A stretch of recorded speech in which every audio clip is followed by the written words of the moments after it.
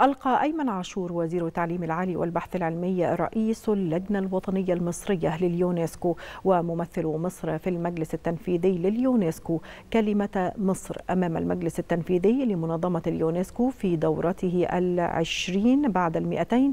وأكد عاشور خلال هذه الكلمة تطلع مصر إلى استمرار أمانة منظمة اليونسكو في التشاور مع دول الأعضاء بشكل وثيق في عملية إعداد مشروع البرنامج والميزانية لضمان تعظيم استفادة الدول من مختلف برامج المنظمة. ثمن عاشور التعاون المثمر بين مصر ومنظمة اليونسكو خاصة في ظل صدور قرار خلال الدورة السابعة عشرة بعد المئتين للمجلس التنفيذي للمنظمة بشأن بنك المعرفة المصري